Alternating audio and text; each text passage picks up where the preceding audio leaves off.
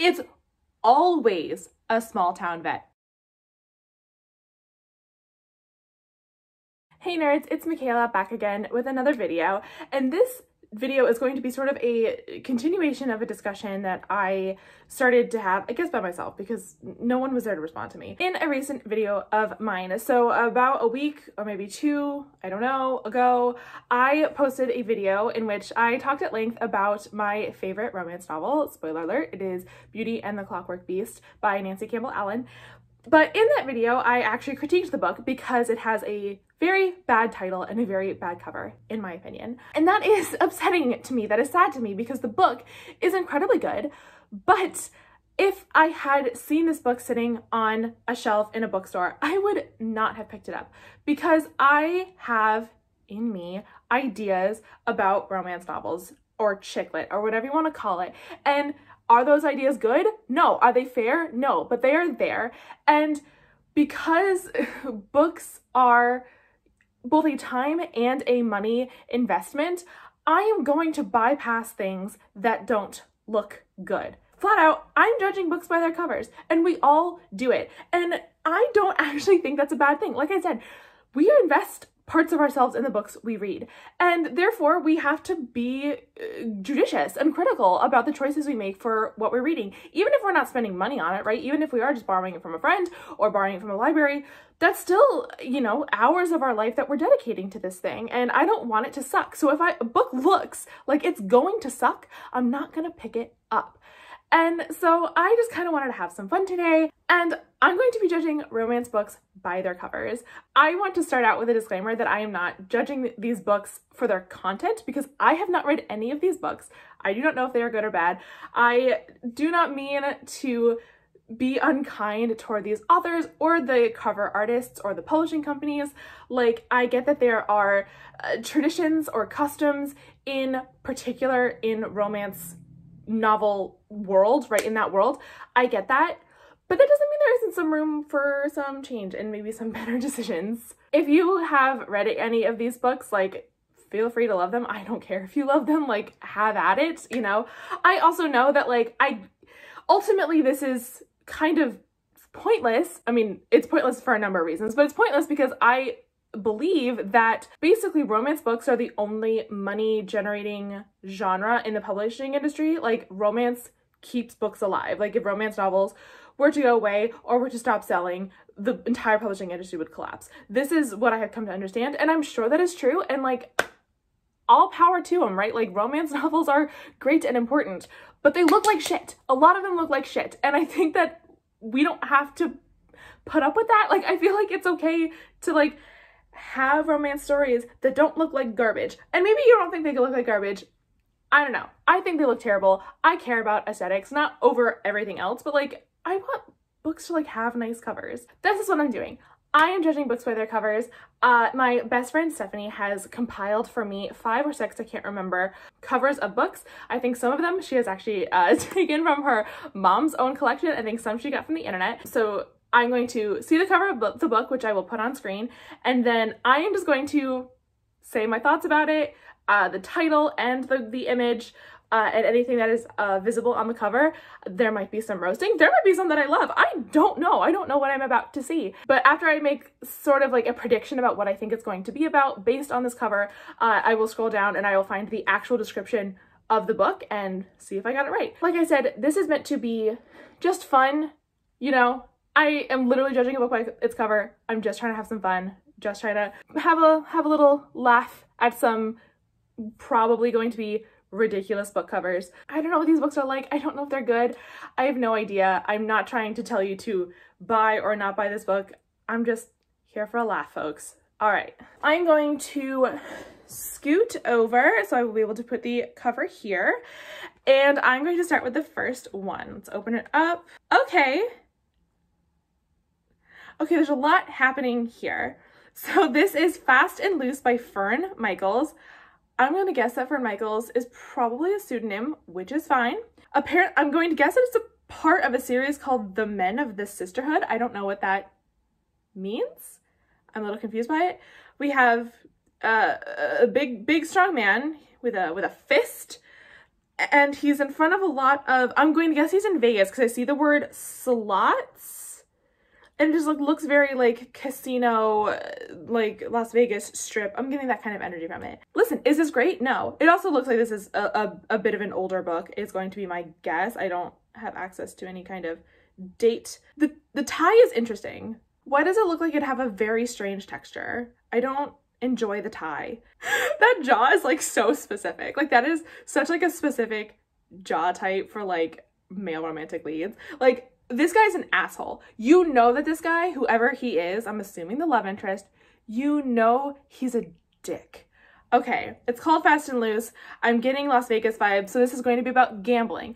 I'm guessing the protagonist is going to be um i'm gonna say she like works in a casino probably maybe oh she's a dealer at a casino and she's like working the blackjack table and this guy uh you know he shows up one day you know in, enters a game of all like her regulars and just like wipes the floor with him and so everyone accuses him of counting cards. And like that's sort of the plot thing is like is this guy a cheater? Is he a real gambler? And they i don't know there's some kind of also love story. I'm not good at predicting love stories. I am good at predicting plots. I'm not good at it as in i think i'm right. I'm good at it as in like that's where my brain goes. I can i can try to make a guess at a plot.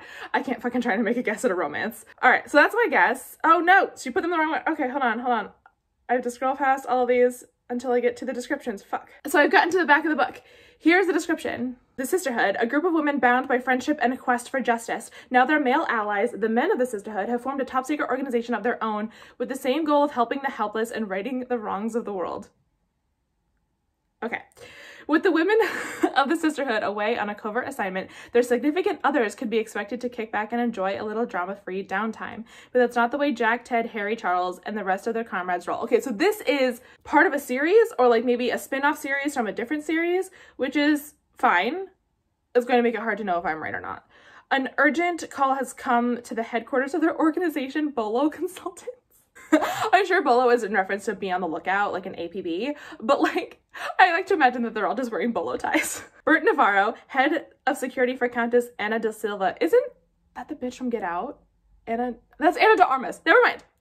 Suspects that Annie's deluxe casino, ha, Babylon, is being stealthily and expertly robbed. But figuring out who's hacking into Babylon's security system proves more difficult than expected and may have implications for one of Bolo's own. The security expert working for them has unlocked one hard fact. There are more than enough suspects to investigate, but the men of Bolo will do what it takes to prove that even in Vegas, there's no gambling with justice. There is a chance that this is actually not a romance novel. Wait, I'm just now reading the top of this.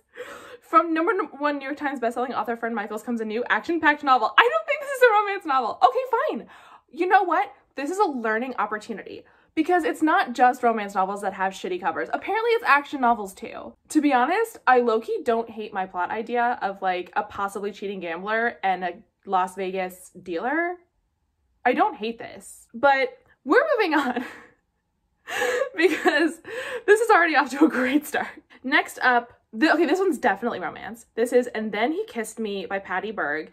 This cover is extremely like mid to late 2000s, right? I don't know when this came out, but like I'm feeling very 2007. Um, it has that color scheme, it has that aesthetic, you know, mixed fonts, the little flap thing. I that's just what I'm getting from this. One thing, I don't think this sucks, right? It's fine. It absolutely tells me nothing at all about the book, right? I would ha I have to read the back of this to even formulate the smallest guess as to what this might be about. I've got a tube of lipstick, either a garter or a hair scrunchie, not sure, and an engagement ring. I mean, garter would make sense, engagement ring. But I, I, I can't figure out what this is about at all. So, I mean, I guess it sucks in that regard. Like, I guess the only thing you have to communicate from your cover is like what type of book it is. And I guess this communicates that, yeah, this is a romance. I can tell that from the title, which I don't love and then he kissed me. You have, it's a very generic title and it's a very generic cover. I feel like one of them needs to give me a little something more, but it's not like god awful. So, all right, scrolling down. All right, here's the back of the book. She's the blonde bombshell who once starred in a string of low-budget films and is now a jet-setting best-selling author. But one too many bites of caviar, menacing phone calls from her jailbird ex, a tabloid photographer hot on her heels, and a nasty gossip about her life sent Juliet over the edge. Disguising her identity, she runs straight into the arms of Cole Sheridan, a small-town vet. It's always a small town vet with troubles of his own. With a malpractice suit hanging over his head and his bohemian parents and their band of old hippie friends about to converge on his home, the last thing Cole needs is one more snag in his orderly life. But when he spots the raven haired beauty with the curvaceous body standing al- along a lonely stretch of highway, he hitches her car to his own and tows one more complication his way. He thinks she's quirky, she thinks he's sexy but cantankerous. She's hiding something, he wants to push everyone away, until the chaos of Juliet's life catches up with her in plentiful Wyoming. Once she's more once more, she's ready to run, and then Cole kisses her. That's when the trouble really begins. So, there's a lot of tropes happening here, right? We've got, you know, the chaotic woman and the orderly man. It is usually the other way around, but it's still like that same dynamic. He thinks she's quirky. Do you need any more evidence that this is the 2000s? you know, it's it's very what to be expected. The only thing that kind of makes me upset is that like this doesn't seem like an uninteresting plot. Like there seems to be a lot going on. Like yes, the romance is obviously the biggest part of this, but like I absolutely want to know about this jailbird, jailbird X. I want to know about this guy's hippie family. Like there are parts of this that aren't specifically romance related that I want to know more about, but none of this is on the front cover. None of this like kind of interesting, engaging stuff is on the cover. It's just like I see lipstick and engagement ring and some other scrunchy garter situation. And as someone who like I consider myself feminine, but not like hyper feminine, I would see that and be like, this looks cringe. Like, it looks like, oh, this is for like, not me, right? I would look at the cover and think like, this is not for me. And I don't necessarily think reading this description that this book is not for me. But I would, again, look at this cover and be like, ugh. Okay, wait, I like this one. There is unfortunately a Target sticker, but it looks like the title is Love at First Like by Hannah Orenstein. Hate the title. Title is garbage, but I enjoy the cover quite a lot. The title is How Far Would You Go to Fake the Perfect Life? So I'm getting like a fake lovers to real lovers scenario, like on board. I, I like the color. I like the art style. I think between the, I mean, the title is whatever, but I think between the cover and that, that tag, or what's it called? Like like it's it's a tag tagline tagline. And the tagline i think i have a, i know what i know what i'm about to pick up right?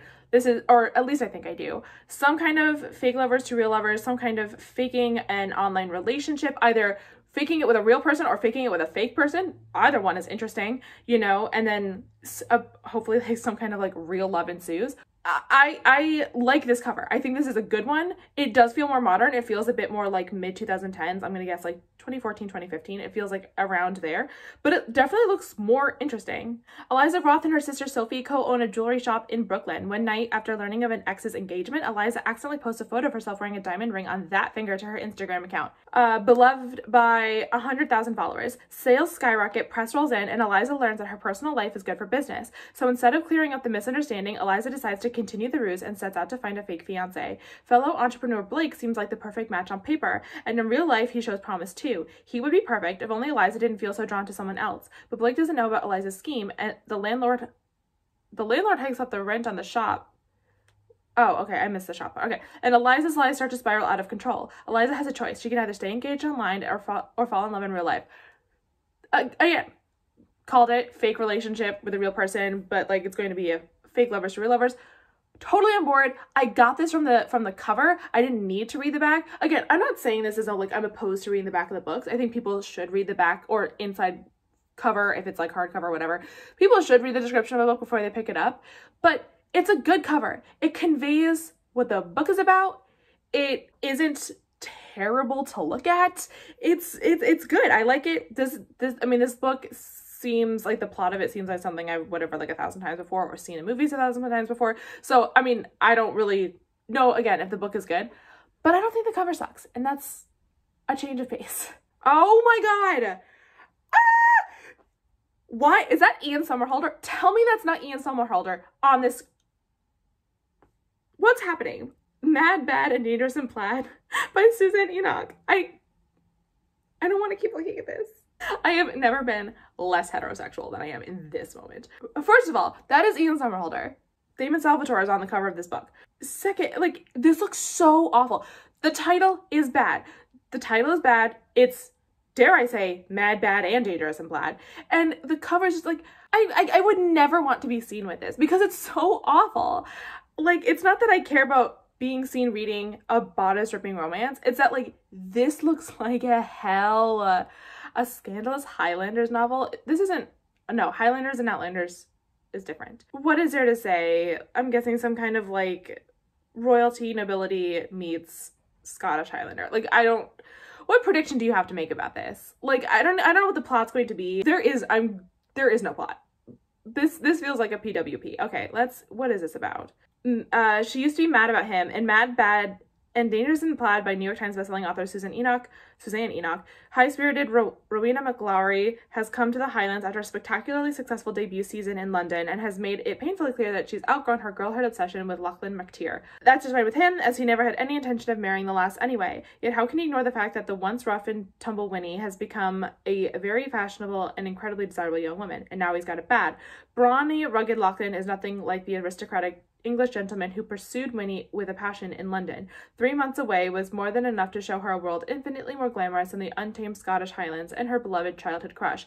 But now that she's decided to find a prospective husband with a bit more polish, could Lachlan finally appreciate her charms?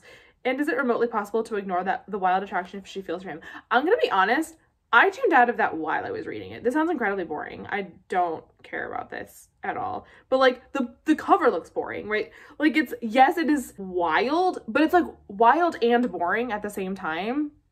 And like I kind of get that same vibe from the descri- description.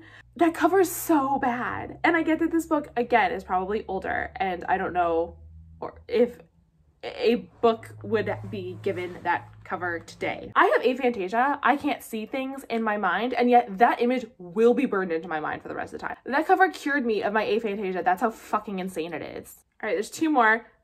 Stop it. okay, this Stop. oh my god. Okay, so book was absolutely absolutely chosen with me in mind. it is called Hedging His Bets by Celia Kyle and Mina Carter. I'm going to guess that this is actually a parody book. I'm going to guess that this is not real. Judging by the size, like it's a square image. So like I'm thinking this is like an ebook. If I swear to God, if this man, if I find out, if I read the description of this book and I find out that this man turns into a hedgehog, I am deleting my channel. Like, this is so funny. This is the funniest thing. I actually, I actually, I want this. I want this as wall art. This is the funniest thing I think I've ever seen in my life. My best friend knows that I love hedgehogs. Hedgehogs are like my thing. I love them. It is my patronus. It is my everything. I love hedgehogs. So I know why this was chosen. I just have to go. I have to, I have to read it. I have to know. It's a BBW paranormal shapeshifter romance. I was right. I don't know what BBW mean. I'm scared to look it up. Oh, big beautiful women a euphemism described thicker, curvy women. Okay. I mean, the woman on the cover, I have to go back and look, but she did not. I mean, it's hard to tell. I would not call her big. Okay. Honey loves running her bar and grill and ca- catering to humans and shifters alike, but there are two things that dim her love of the place. Cocky assholes who think they own the world, and cocky assholes who think they can flex their muscles and wreck her, wreck her bar when throwing a temper tantrum. Unfortunately, drop dead gorgeous, hotter than hot, shifter man she secretly loves is both. Blake, wasn't the last one Blake? Wasn't there a Blake, Blake previously? There was. Blake was the name of the guy from the, the fake Lovers to Real Lovers one. Blake wants a curvaceous, gorgeous honey in his bed. Now, he's lusted but not loved, let's get that straight, after the luscious woman for months. True, he looks like a bad boy biker mixed with a player, and yeah, he's broken a few things in her bar, but only because the guys were hitting on her, his girl. With no hope of winning her over in sight, he does what any red-blooded were hedgehog would do in his position. He lies. I just read the words were hedgehog with mine own two eyes. I have strayed so far from the Lord's path. This has to be, this has to be Wattpad. I, I refuse to believe this is anything but Wattpad. You know what? I don't think I have anything else to say about this. I think we're gonna move on and we're all gonna pretend that that didn't happen. All right, this is the very last one because I need, need to be saved. I mean, this one has NASCAR branding on it. Crossing the Line by Jean Brashear. Ann Brashares wrote Traveling Sister Pants Hood. You know what I'm talking about. Again, this is like very stereotypical for, I think, for a romance cover. The NASCAR branding means that like I don't know if it's a matter of like Harlequin had to license the right to use NASCAR or if NASCAR paid for this to be written. Some money was exchanged for this though. This uh, okay, so the tagline for this is the secret's out. So is, is this guy like a secret NASCAR driver or maybe she's a secret NASCAR driver and she's been like posing as a man this whole time to like get behind the wheel and he finds out and so he has to keep her secret and like maybe that's the romantic tension. I mean again the cover is awful. What she's wearing is like so 2009. It's wild. Again this is just like it's so it's a terrible cover. It looks so bad. I would not want to be seen reading this. I don't even want to like I would not want to look at this. Like honestly forget being seen reading this. I just like wouldn't want this on my shelf. It looks like hell. The colors are bad. It's very like cringy. He's like opening his suit like it's fucking Superman. Like it just looks so bad. All right, last one. Description. Let's go. Grace Winters is the racing world's best kept secret. Now the secret's out. The up and coming chef hopes her newfound celebrity as author of a NASCAR themed cookbook. There's so many things happening in these first three sentences will give her the financial security she craves. Falling for handsome, much too charming playboy Garrett Clark is just a recipe for disaster. The only home Garrett knows, Garrett knows is behind the wheel of a race car, and now he's on track to win a coveted championship. Falling for a hardworking mother of three isn't part of his freewheeling bachelor plans, but how is he supposed to resist the tempting package Grace is offering? A home, a family, the whole nine yards. That's before a shocking revelation stuns the NASCAR world and promises to transform Garrett's and Grace's lives forever. First of all, please romance writers stop making your male and female romance can you say a sentence? Stop making your male and female romantic interests have the same first initial. I don't care if they are different genders or different whatever. I don't care. It is confusing and I will never keep them straight. Obviously, I did not guess from the cover that she was a chef. Like that did not come across. Not that I think it had to, right? I got enough that he is a race car driver and like for the female audience, like that is supposed to be the draw that they are reading a romance novel with a NASCAR driver. That's fine. I'm a touch confused by the plot. An up and coming chef hopes her newfound celebrity as the author of a NASCAR themed cookbook. Pray tell what that means. What are your recipes? Are they foods that like NASCAR drivers would eat? Because like NASCAR drivers tend to lose a lot of weight in the cars because the cars are so hot that like sweat out so much. So maybe it's like very hydrating foods or foods that help them bulk up. Or is it foods that are just like car themed. So like that one dude drives an M&M car. So is there like M&M thing? What do you do for the DuPont car? I'm confused. I'm confused by this cookbook. And honestly, that's what I want to read about. I want to read about what you do to create a NASCAR themed cookbook. I don't really give a shit about the relationship. I want to know about the food. I mean, to me, this seems like a terrible plot, but that goes along with a terrible cover. This one I would pass, and I think I would be right to pass. I mean, if you've read this, let me know if I'm wrong. Okay, so those are the six covers we looked at. I mean, technically it was only five romance covers because it turns out that that first one was not a romance book. My favorite one by far was the Love at First Like. I think this one is just really good. I'm looking at it again. It's really good. It conveys what it needs to convey without being like cringeworthy, I feel like. It, it's clear that you're reading a romance, right? Like if, if you were to read this on the train, no one would not know that you're reading a romance, but it doesn't feel icky. It doesn't feel weird. It just feels like this is a book about romance. And that's it, and I like that. My favorite for personal reasons is hedging his bets, but we don't have to go into that. Uh, the worst by far is Mad, Bad, and Dangerous and Plaid. It is the most traditional, it is the most, like, uh, customary for what I think of when I think of a terrible romance novel, but holy shit, what is happening?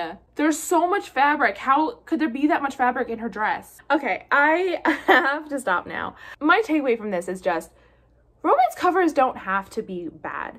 They can convey the fact that this is a romance and that maybe there's even a plot involved. They can convey that without being awful. I feel like we demand a lot less from romance covers. And I think this is actually true for like adult romance or YA romance because the expectation is like these are like trashy books anyway, so who cares if they look trashy? And and I feel like that attitude carries over into like the attitudes about the books as a whole, right? I love calling certain things trashy, right? Like I uh, have watched Bridgerton twice now and I talk about like, oh my god, it's such a trash show and I'm a trash person. But like I love the show and I think it's a good show and what I really like about Bridgerton is that like I feel like the creators of the show, like everybody involved in that show, treats it with respect. I love the opening sequence. I love the the way it looks on Netflix. I love, you know, all of the effort that clearly went into those costumes and the music. Like I think it's a great show. I think it's like in terms of being it will it being well made. Obviously, it's problematic. The Bridgerton story is problematic. I also I'm, I'm commenting on the show because I have not read the books, but that is a trashy show that doesn't look trashy. That doesn't treat its story as trashy.